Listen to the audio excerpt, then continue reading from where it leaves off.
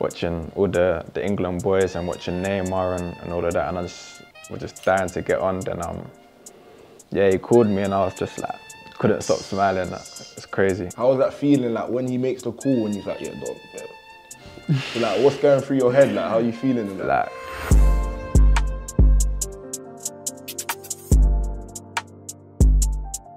Hi guys, DJ Kasinga here with Dom Solanke, we're doing perspectives. with Rising Ballers. We're linking up with AFC Bournemouth bagsman Dom Solanke. Still only 24, Dom's had a crazy career so far. He started his career off at Chelsea, where he was a standout player at youth level. He won the Under 20 World Cup with England and was named Player of the Tournament. He left Chelsea and went to Liverpool in 017, where he learnt from the likes of Jurgen Klopp, Mo Salah and Roberto Firmino. Now at AFC Bournemouth, he has been on fire this season. He scored over 20 goals and is the second top scorer in the league. We're gassed to be linking up with him today and getting his perspective on the journey so far. Alright, Dom, you joined Chelsea at under eights. How did that come about? Well, I was born in Reading, so I was playing like just Sunday league around there. Um, just yeah, played with my, my older brother's age group sometimes, and then I played a couple of years at Southampton and Reading, but like they was all at the same time sort of thing, so I didn't really like sign anywhere. Then Chelsea came about as well, so I was like, yeah, just training with all of them. But then obviously it came to the the age where you had to sign like actual little contract thing. You picked Chelsea. Then yeah, I picked Chelsea. The Liverpool move, how did that come about? Can you talk us through that then? So yeah, obviously um, I was at Chelsea for, for quite a while, and um, I ended up not not ending up staying there. So um, yeah, I had a, a few options where where I was thinking about going, and, and yeah, at the time I just thought Liverpool. There was there was playing a lot of, of young players, and and their squad looked good. The manager was good, and, and yeah, that excited me. So yeah, I decided to go there. Uh, Firmino, Coutinho, um, yeah, just a lot of players, and obviously Klopp was the manager, um, great manager as well. He's pretty much everything you see on TV. So like invested in, in the team. So like like say you lose a game, like he will he will feel it. So like he's literally like one of the, the players really, and I think that's important because like, he has all the players players' faith. He loves his obviously they call it the Klopp hug. So yeah, like it's nice that after, especially after like big wins and stuff, like he's always the one like hyping everything up and that. So Chelsea and Liverpool, obviously they're massive clubs. What would you say are differences between the two then? It's difficult because they're both obviously obviously top teams. Um, I think Liverpool probably is a bit more worldwide, so the fan base is like when you go on tours and stuff, it's just crazy. Like um, like mental, you could go across the world and it will be like we're in Liverpool, so that's quite mad as well. But um, yeah, obviously Chelsea was was I was there for so long, so that that meant a lot as well. But um, yeah, they're both both top clubs. So you've shared change rooms with top players. You've shared change rooms with Drogba, Costa, Salah, Firmino. Have you got any stories to share? Any madnesses? Like obviously we keep it PG, but yeah, any madnesses? Nah, not really. Costa was was a character. Like he was he was so fun to be around. Just every day, just, just always joking about. But um, like he was doing so well on the pitch as well. yeah, so sure. like it was good to see that that someone's got that that energy on and off the pitch. And then um, yeah, obviously Drogba probably my biggest biggest idol. Um, so to be able to to train and, and share the pitch and stuff with him was was, was mad as well. So obviously you share the change room with Salah, Firmino, all of the all of the top guys in like European football right now. What would you say you took from them? Like why are they there? I think just their effort, like every day they're putting in, putting in 100%. Like even if they didn't have a good game, they will always be like thinking about what they could have done better. So say they missed a chance, like the next week they'll be be like working on, on that. Or if they're just their weaknesses, they'll be working on it. Then just even like the gym, like you'll go in the gym, you'll see them them putting in the work in there as well. So early in the season, you described yourself as being in the best frame of mind you've ever been in. What's working? I think just confidence and, and run of games. Like obviously the last few seasons before, mm. the last two seasons I was a bit in and out of the teams, playing here and there. It's hard to to get like a, a run of, of momentum and that. So for me to play constantly the last two seasons just just helped me and I just got my confidence back from that. Would you say that's the most important thing in football, like just the run of games, the consistency over and over again? And Yeah. That's where you're at. Yeah, for sure. I think confidence is just as important as, as ability in football. I think um, if you're not confident, then it takes a, a big toll. So I think, yeah, that along with, with just playing games, learning, just making sure your body's right and fit, like all just gels together. So level with the people now. What is the hardest thing about being a football player that people don't get to see? I think just the expectations really. I think like there's a lot of things that you can't do when you're when you're in a foot, football environment or or away from football. And I think it's just hard sometimes to to not be able to to like I don't know if you wanted to attend your friend's party or something. yeah, yeah. You obviously can't do that. You need to make like a lot of sacrifices and a lot of times the people won't really really realize how much you, you actually sacrifice. Just you gotta make sure that you're always eating right. What's your cheat meal? Probably say a pizza, you know.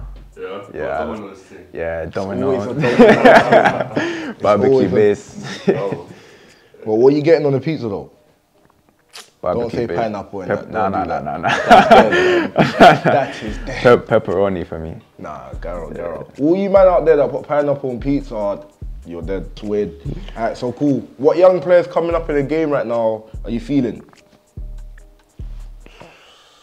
Uh, for me, Foden. Like, obviously he came. He's a bit younger than me, but he came uh, some of the the age groups at England, and like he was just you could just tell like he was different. Like he's short. He was short. Like even at the time, like he was obviously when you're in youth football, when you're a bit younger, obviously it's quite difficult. But like he just he's just like fearless and. I think what he's doing at City is is um, like mad, and I think he's gonna go on to, to do big things. To ask, um, have you got any advice for footballers out there who have been released or they're struggling mentally? Just keep going. Like in times, especially in football, there's always gonna be like tough times. But the good thing about football is it could just change, like instantly. You see a lot of players playing in in lower leagues, then they they get a move to to a higher league, and then one season, and it's just they could be like in the prem. So I think just just keep going and, and believing in yourself. I hear that. Alright, cool, Dom. Talk to me. How was the U20 World Cup? How was the whole experience? Yeah, it was mad. Like, we was literally there for I can't remember how long, but like weeks. We went to um, a camp before where we trained for a bit just to get get used to the weather and, and all of that. And then we went to the tournament and there was like so many games, game after game. And like when you get to the end and you see that you could be in the final, it's like mad. We could actually win this. Yeah. Then um, yeah, we went on to win, and like still to this day, that's probably one of my biggest achievements. And you won the golden boy out there, so talk me through that. That's the player of the tournament, isn't it? Yeah, yeah. Say nothing. but yeah, so you won it out there, so talk me through that. Like, did you expect it? Did you expect to win it based off your performances, or was it like a welcoming surprise? I was actually going for like the golden boot, which Yeah, was yeah. was top scorer. That was like my main goal. But then um, yeah, it got to the point where I was I scored a couple of big goals in, in the big games, and I was having some good games, and I think um I think I was a couple of goals behind the, the golden boot, and obviously I knew that when I didn't score in the final, so I was a bit upset. But then um the woman came up to me and was like, um, "You've won the golden ball," so I was like. Right, Yes, it's even Yeah. better. it's even better than the, the golden boot. So yeah, I was, I was buzzing with that. So, so you've gone through the different age groups of England, 15s all the way up to 21s, and then the big one, senior debut versus Brazil. Talk me through that. That is a madness. Yeah, it was literally a madness. Um, was actually I was away with the 21s. We had a away game in Ukraine. Then um, was coming back to to England. We was going to the actual game, like at Wembley, to watch England versus Brazil. And um, I had a good game in, in Ukraine, scored. Then um, yeah, the, the opportunity came. I think uh, yeah, Southgate called the under 21s manager and um, said that they wanted me to, to go and join them. So I went and trained with them for a few days and, and did well in training. Then um, yeah, it came to match day and I was in the squad and I was just like praying to just get on the pitch. Like I was watching, watching all the, the England boys and watching Neymar and, and all of that, and I was just dying to get on. Then um, yeah, he called me and I was just like couldn't stop smiling. It's crazy. How was that feeling like when he makes the call and he's like, yeah, Dom, yeah.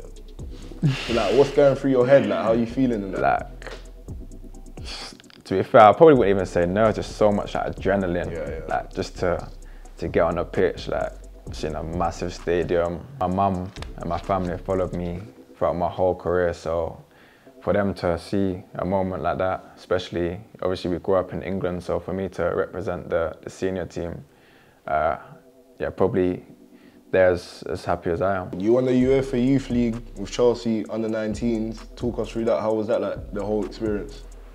yeah, that experience was was crazy really because in the group in the group stage you went like with the first team, so you mirrored their um, Schedule. Yeah, their schedule. So you would play the game, then at night time you would watch like the first team. So like, the whole the whole experience of that was crazy. Then um yeah, I think the semi final and final was all like we flew to to another country and it was all all the games played at once. So yeah, it was just like a, a happy camp, and then when we won, obviously it was was amazing as well.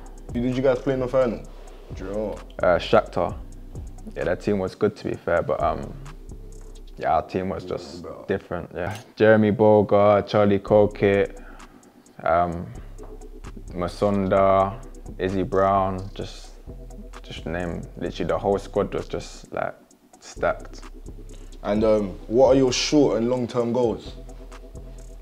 Um, short term, obviously, get back to the prem. I think that's um, yeah, that's that's all I want to do right now. Uh, hopefully, we can get promoted this season, which will be really good. And then long term, just yeah, have a good good career in the prem and, and hopefully on international level as well. Yes, guys, this is a wrap. Football perspectives, crazy stories, crazy career. Love for jumping on, bro. Appreciate it.